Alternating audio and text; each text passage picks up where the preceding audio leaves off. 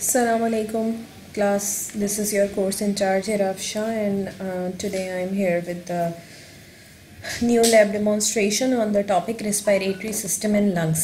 Um, we have already completed the uh, types uh, muscles and its types and we have already completed the tissues uh, including the epithelial connective tissue cartilages specialized connective uh, specialized connective tissue etc uh, now we are going to start our uh, new section uh, to study the systems of the body. Uh, I am starting with the uh, system uh, that is known as the respiratory system and lungs and um, today our object is to study the respiratory system and lungs. So basically the respiratory system consists of the nasal cavity, nostrils, pharynx, larynx, trachea, right lung, left lung. Uh, this is uh, the diagrammatic presentation of the respiratory system. Uh, now I am starting it uh, with the introduction of the respiratory system. The respiratory system consists of all the organs involved in the breathing.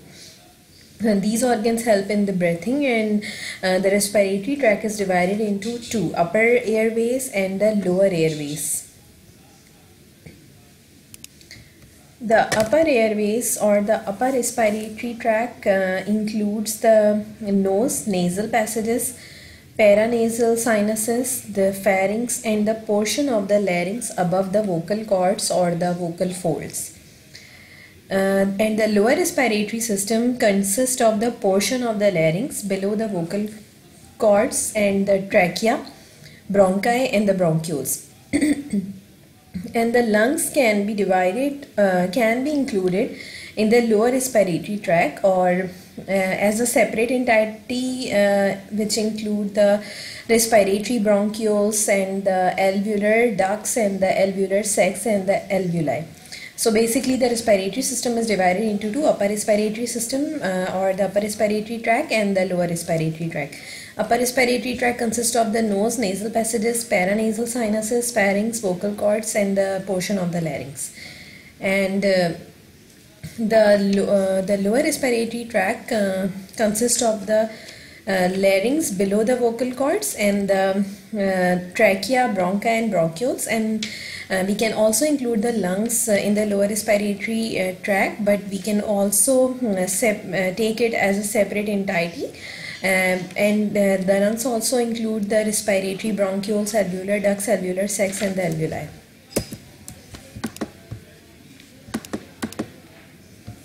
Now, I am going to start with the introduction of the upper respiratory tract. The upper respiratory tract composed of the nose, the pharynx and the larynx and the organs of the upper respiratory tract are located outside the chest cavity. So uh, they are classified as the upper respiratory tract. And the nasal cavity is inside the nose and the sticky mucous membrane lining the nasal cavity traps the dust particles and tiny hair called the cilia helps to move them to the nose uh, which can be sneezed or blow out. So, and the part of the upper respiratory tract that is the sinus or the sinuses, they these are the air-filled spaces. Um, along uh, side of the nose and it help to make the skull lighter and uh, then the pharynx pharynx uh, uh, uh both food and air can pass through the pharynx and uh, before reaching uh, to their uh, the digestive tract. So the pharynx also plays the role in speech. And then the larynx. The larynx uh, is essential uh, to human speech.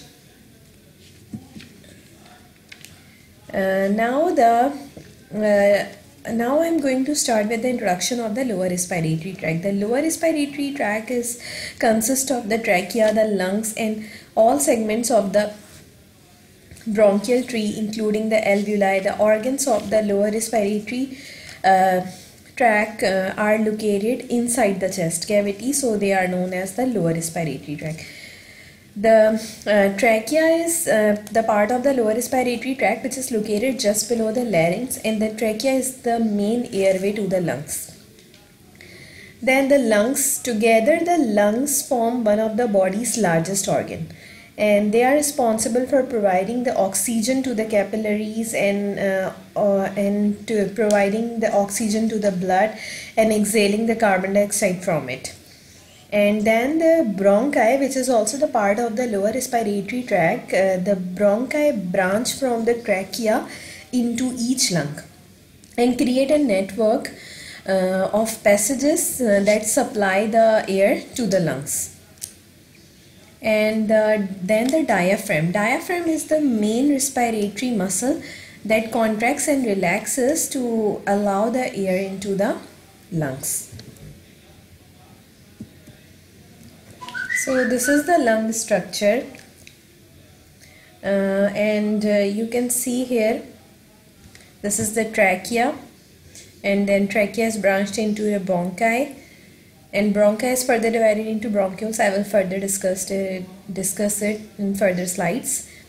And this is the right lung this is the left lung. And this is the these are the lobes horizontal uh, superior lobe and then the middle lobe and the inferior lobe. I will discuss it later. Then the left lung which has superior lobe and inferior lobe. And these are the fissures which separate these lobes from each other. So I am starting with the uh, lungs structure. The lungs are uh, roughly cone shaped structure and with an apex base and three surfaces and three borders here you can see the apex.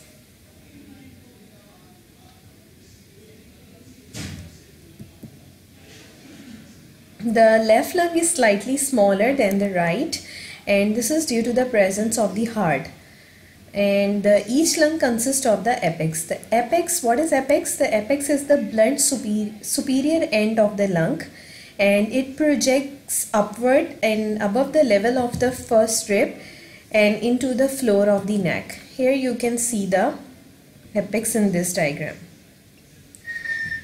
Now uh, base. The base is the inferior surface of the lung which sits on the diagram.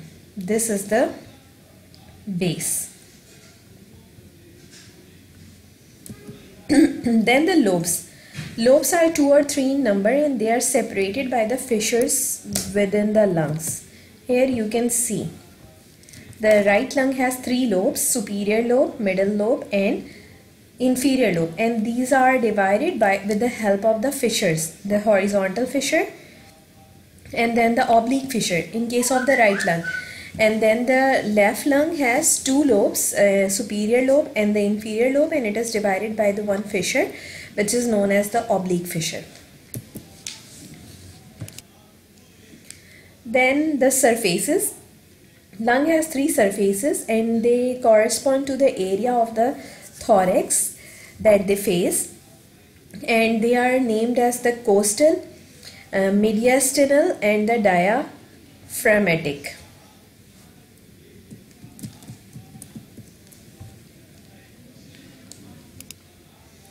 Uh, then the lungs has the three borders. The borders are the edges of the lung. They are named as anterior, inferior and the posterior borders.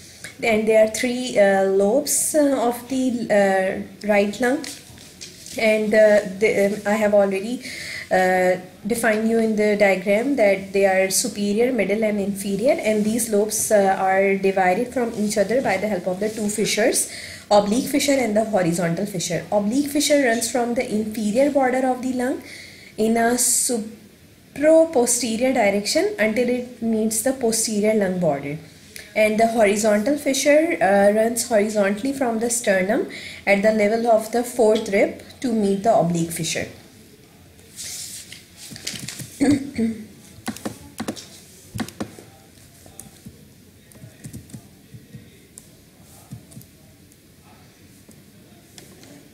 the left lung is uh, uh, the left lung contains two lobes in superior lobe and inferior lobe which are separated by uh, one fissure that is known as the oblique fissure. Here you can see it. The right lung right lung has horizontal fissure and then the oblique fissure and this is the superior lobe inferior lobe and the uh, inferior lobe superior lobe and the middle lobe and this is the left lung which is uh, divided the two lobes are divided by the oblique fissure. And uh, this is the superior lobe and this is the inferior lobe. Now comes to the surfaces. The there are three lung surfaces. Uh, each uh, correspond to the area of the thorax. Number one is the mediastinal surface of the lung which faces the lateral aspect of the middle mediastinum and the lung hilum where the surfaces enter and leave the lungs is located on this surface. This is the hilum. Hilum is the part where the structure enter and leave the lung. And, the, uh, and it is this, uh, the lung hilum is located on the mediastinal surface. And then the base of the uh, lung is formed by the diaphragmatic surface. It rests on the dome of the diagram, uh, diaphragm and has a concave shape and this concavity is deeper in the right lung due to the higher position of the right dome overlying the liver. And then the costal surface. The costal surface is smooth and convex and it faces the internal surface and the chest wall. And it is related to the costal pleura which separates it from the ribs and innermost intercostal muscles. Then comes to the borders. The uh, lung has three borders. Anterior border uh, of the lung is formed by the uh, convergence of the mediastinal and costal surface. On the left lung, uh, the anterior border is marked by a deep notch created by the apex of the heart and it is known as the cardiac notch. Uh, then the inferior border. The inferior border separates the base of the lung from the costal and the mediastinal surface. And then the posterior border which is smooth and rounded and in contrast to the anterior and inferior border which are sharp. Uh, this posterior border is formed by the costal and the mediastinal surfaces meeting posteriorly. Then comes to the root and hilum. The lung root is a collection of structure that suspend the lung from the mediastinum.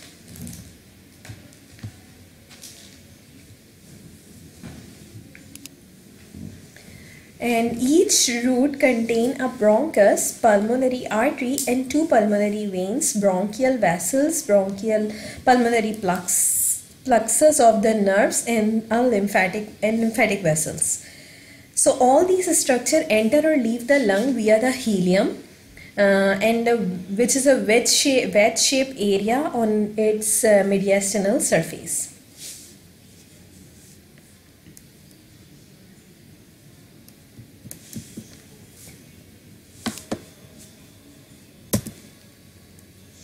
Here you can see the surfaces and borders. This is the apex of the lung. This is the anterior border. And this is the inferior border.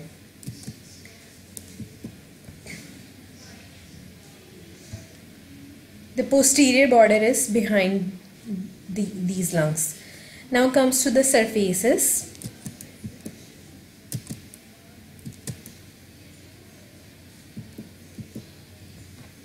These are the costal surfaces. These are the mediastinal surfaces. Here you can see the three borders. First I am going to describe you the borders. This, these are the anterior borders. These are the inferior borders and these are the posterior borders in these diagram. Now comes to the surfaces. This is the costal surface. This is the mediastinal surface and this is the diaphragmatic surface.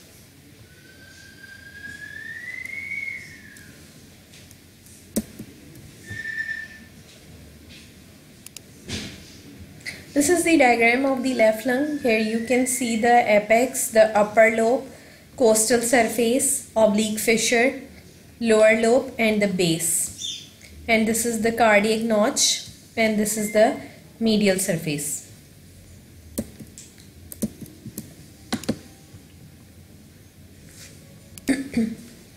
Now uh, I am going to discuss the bronchi of the lungs. There is a bronchial tree in the lungs which is a series of passages that supply air to the alveoli of the lungs. And it begins with the trachea uh, which divides into left and the right bronchus. And then each bronchus enter the root of the lungs passing through the ileum and then the each uh, bronchus enters to the lungs through the point which is known as the ileum and inside the lungs they divide it into uh, uh, lobar bronchi and the one supplying each lobe. And then each lobar they divide to form a lobar bronchi uh, which supply the uh, uh, blood to the which supply the air to one each lobe the each uh, lobar bronchus uh, then further divided into several tertiary, tertiary segmental bronchi. Uh, each segmental bronchus provide air to the bronchopulmonary segment and these are the functional units of the lungs.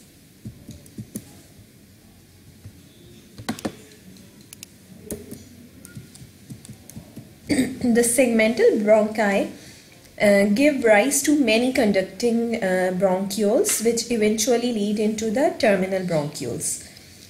Each terminal bronchiole gives off the respiratory bronchioles which feature thin walled out pocketing that extend from their lumens. So these are the alveoli uh, which are the sites of the gaseous exchange. Here you can see it.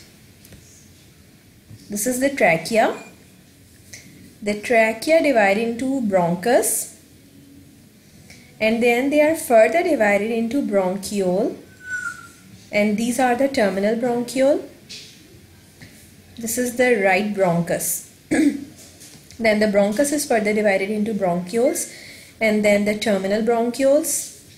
And this uh, bronchiole which enters the uh, lobe is known as the lobar bronchus this is the segmental bronchus. And then they further divide into air bags which are known as the alveolar sacs or these are the ducts alveolar ducts. And the same structure are present in both lungs. Uh, so for simplicity they have only labeled the one uh, side of the lung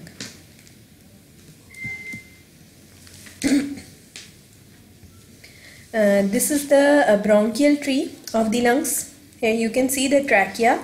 Then the trachea is divided into primary bronchi or bronchus and then this further divided into secondary bronchi, then tertiary bronchi and then the bronchioles. And this is the cardiac notch.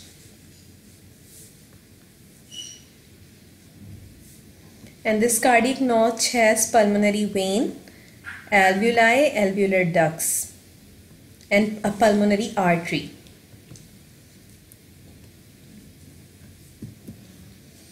Now come to the vasculature. Uh, the lungs are supplied with the deoxygenated blood by the paired pulmonary arteries and once the blood has received oxygenation it receives the lungs via four pulmonary veins two for each lung so the bronchi lung root and visceral pleura and supporting lung tissues require, uh, require an extra nutrition blood supply. So this is delivered by the bronchial arteries which arise from the descending aorta. The bronchial vein provide the venous drainage and uh, the right bronchial vein drains the uh, azygous vein whilst the left drains into the accessory hemiazygos vein. This is the lung's anatomical features. Apex, right lung, left lung, base, lobes superior lobe middle lobe inferior lobe horizontal fissure oblique fissure which separates these lobes. Then the hilum from which the bronchus or the um, pass through the lungs and this is the um, superior lobe of the left lung and the inferior lobe of the left lung and this is the oblique fissure which separates these two lobes and this is the cardiac notch and this base rests on the diaphragm